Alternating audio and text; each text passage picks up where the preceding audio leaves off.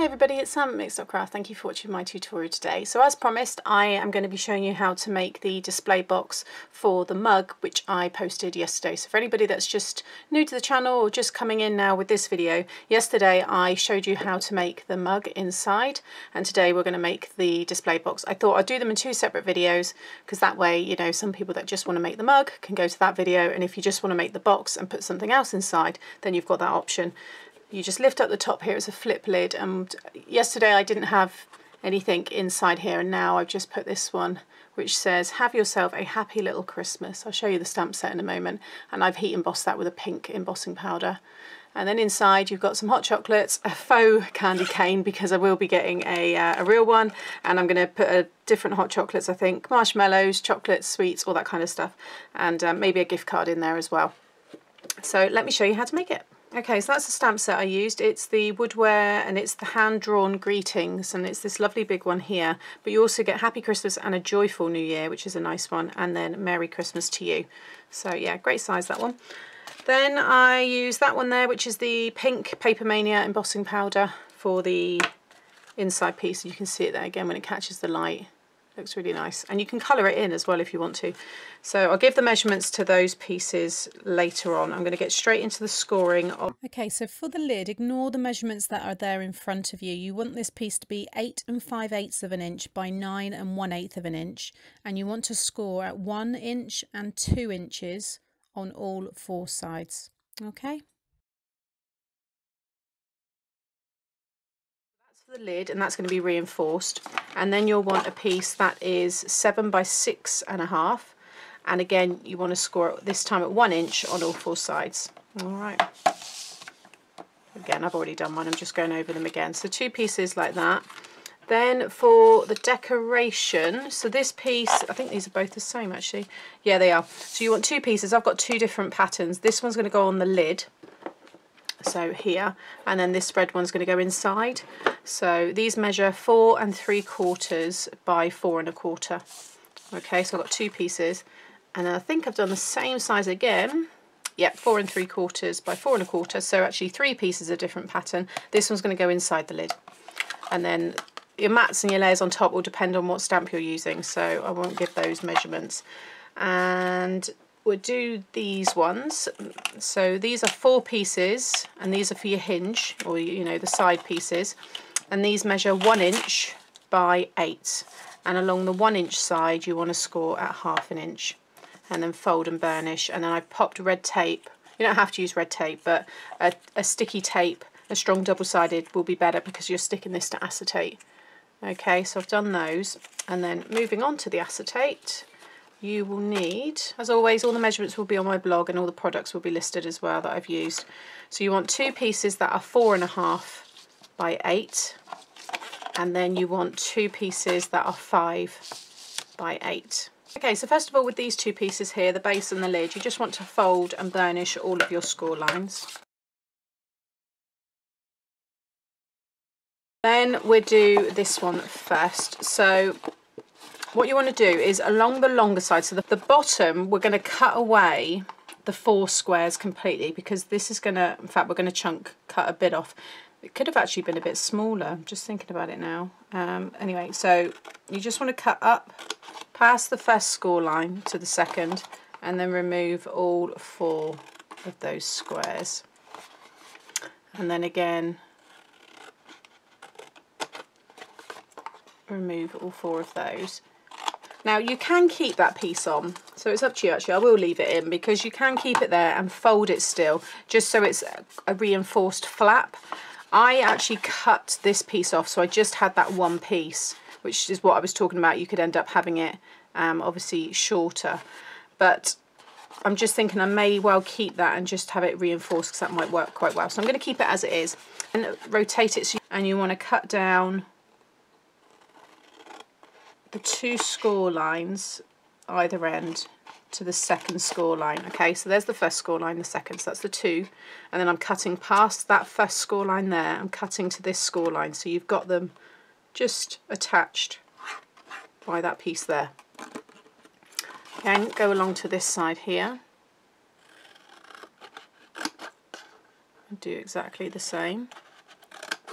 okay then you want to remove the two outer ones completely. So and then that one there. So you're just left with that tab. Again on this side just remove those two and then that one there. Then with those two just take little wedges off. Like so. Okay? So just lay that one down there just so you can see what we've got. Then get this one here again along the seven inch side cut down the two score lines at the front just to the first one and then just cut a wedge of these. And this is going to be our base. So it's exactly the same as this inner piece here. If you take those pieces away it's the same and then flip it right round to the opposite side and just do exactly the same again. And then what we'll do is we'll start with this one first. So leave that end where we've cut those two larger areas. And these two here we're going to add some glue onto the tabs. So just a little bit of glue there. I'm going to do that one as well. Okay. And then you just want to fold it down and then bring this around to form a right angle. Okay, and then again with this one here, fold it down and then bring up your corners. And everything should line up. My score lines here meet up perfectly there because they're all going to be folded in in a minute. So just spend a moment just to make sure that that's all secure. Okay, and then just go around and pop glue on the inside of the outer rectangle. You're going to do it on all of them, but I'll just show you on this one close up and then fold it all in. And it's going to conceal those tabs that we just stuck down and reinforce the lid to make sure everything's nice and strong. If you go in and just really burnish it and you can spread out that glue I just bring it up there you can see how neat that is so you want to do the same on this one this one and even this one just put glue on that piece there.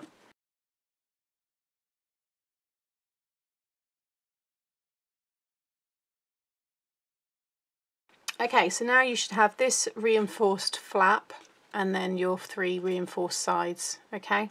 Now you might also want to stick this piece inside.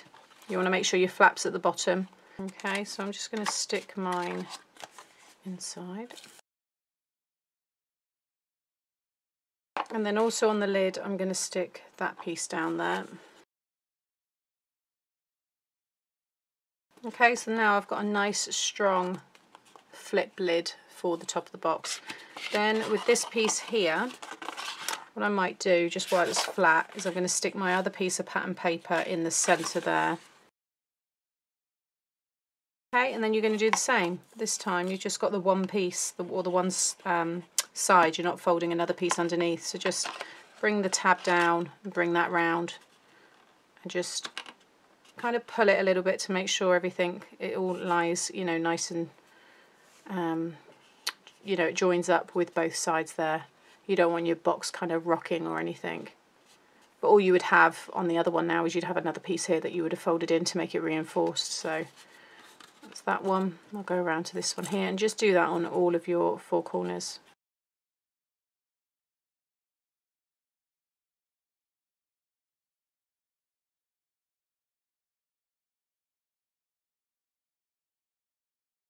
Okay, so that's my base all done. So you, then I've just gone and stuck double-sided red tape on the short side of all of the acetate pieces. So there's my two that are four and a half width, and there's my two that are five inches width.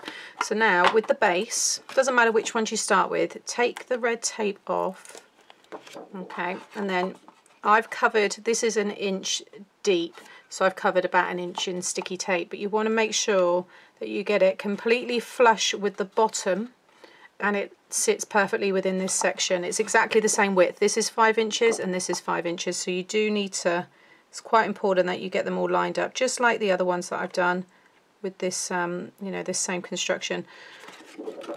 Because if you don't get them all lined up with the bottom, then the, the, the height could be slightly out. You want it to be, you know, eight inches on all if you bring it up slightly on one and then down further on the other, your, your top's going to be all out of sync. So just make sure you focus on that. So I'm going to do that one and then flip and do the other five inch side. Okay, so that's the two there on each side. I know it's a bit hard to see, but hopefully you can get the idea. And now I'm going to do exactly the same on the shorter four and a half inch side.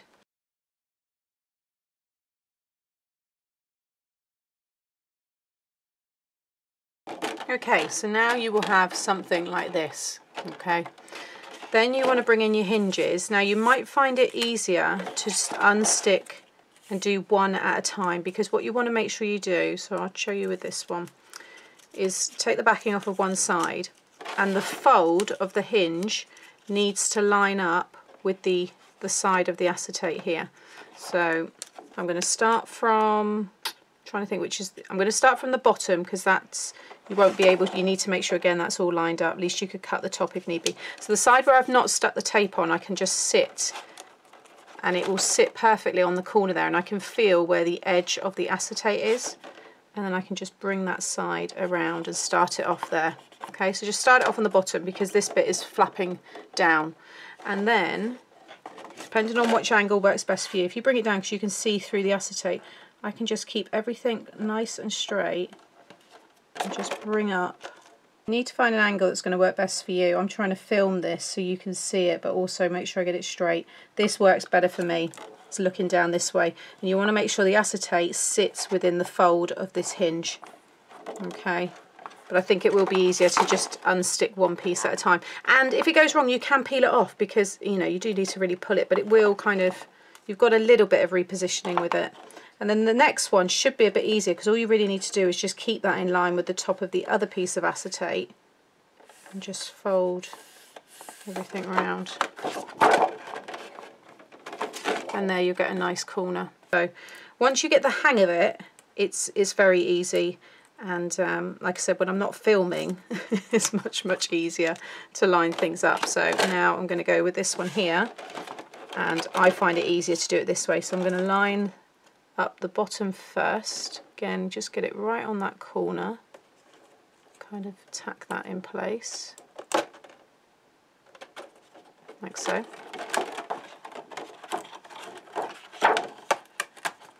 And then the rest of this. As long as you get it straight at the bottom it should just all line up. And once you've done one that was much much easier because this is already kind of holding it in place. But you can see now how nice and straight that all is. So yeah it will it will get easier. So again I'm just keeping this bent inwards so it's not touching it yet but bringing around that side so you get a nice corner. Still holding that away from it turn it up this way. And again just roll that down. And it does it fits in really nicely. So again I've got another nice corner there. So just repeat that now on this side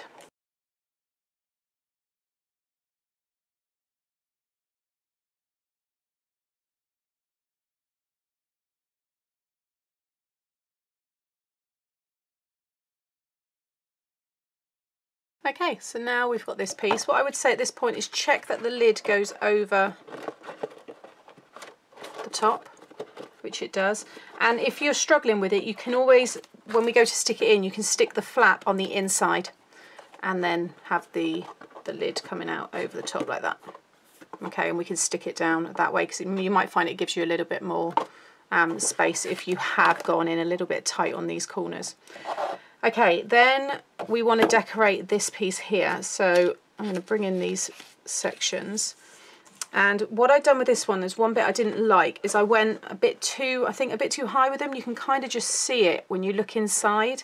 So I've gone a little bit shorter and I've got to remember which ones are which because I've just messed them all up. So I've already put tape on the back of them, but this is one inch here. So these are 7 eighths of an inch by the whole width. So 7 eighths of an inch, you want two, so two that are 7 eighths of an inch by five and two that are 7 eighths of an inch by four and a half. And you're going to stick them over the top there. And I think that goes really nice with the gingham and nice with the red that's inside there. So I'm going to stick all of those down.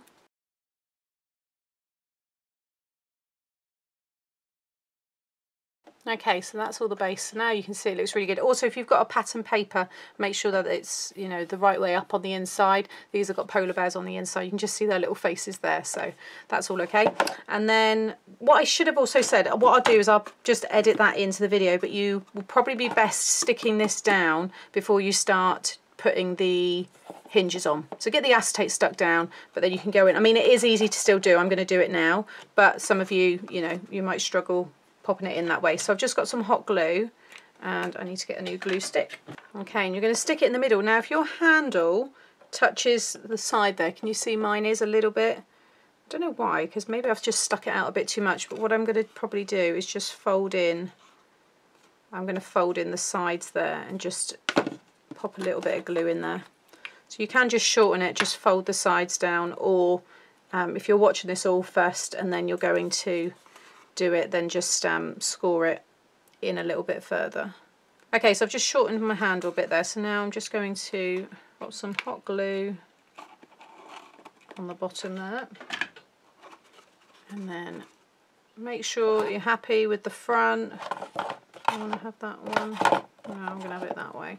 And then pop that in so it sits in the centre. Okay, so you just see me there, just put the hot glue on and you just want to move it around, just make sure you're happy with the placement that you can see it. My handle's shorter now so it's not touching that acetate. It's a bit further at the back there but actually it doesn't really, no it doesn't matter. I quite like that because the bow. Isn't it cute? And that's how it will look when obviously they've taken all the goodies out and they just have this nice little, yeah, nice little decorative piece. I really love it. Okay, so now we're just finishing off. So now the lid, so I've, while I've got my hot glue here, I'm just going to pop a dollop of hot glue. Now this bow is using the smaller bow from, keep that held down there, from the Ultimate Gift Bow. So this is the one that I showed you how to make on its own and I used it on the top of the rocket boxes that I made. But I've used just the small one. So I've just cut that one because you get three. You get this one, so one, two, and then you get this one here, three. So I've just cut two of those out and it makes a really cute little bow. But if you want to do the other one and um, on this one here, I will link up the tutorial to make that one. And then I've got these pieces. So these are uh, three quarters. I think I've done the measurements slightly different for these. Yeah, okay, so these are three quarters of an inch by four and three quarters, and you want two that are that length. And then you want two that are three quarters of an inch by four and a quarter, and they're for the sides. Again, I've popped double-sided tape on the back of mine. So I'm going to get them all stuck down.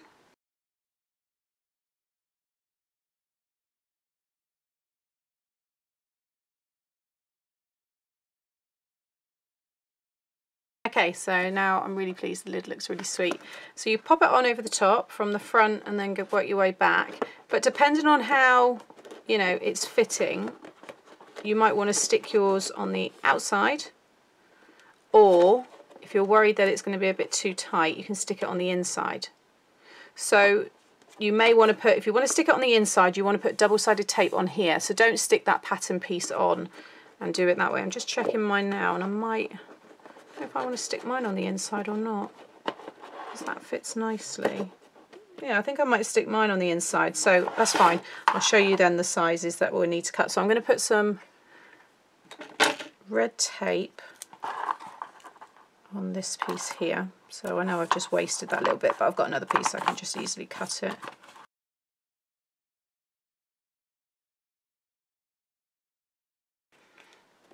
Okay, so I'm going to pop the front on and the sides. And then just before just before you push it back inside put the inside piece in there. Okay so I've taken the backing off. And then just push it like so. You do want it to be a snug fit because you know you want your lid to close like so. So if I just lift that up. So visually it looks exactly the same as this one it's just that one stuck on the outside and then I use that decorative paper to cover up the sticky tape so yeah, stick that in there and then it closes perfectly. It's so cute. Love it. So now I need to make a piece of pattern paper to cover this piece. So I would say you want a piece that's one by five because you want it to cover all of that up. Yeah, that's one by five and it covers it perfectly and it just looks like the lid's all, you know, attached. So I'm just going to add some tape to the back of this one.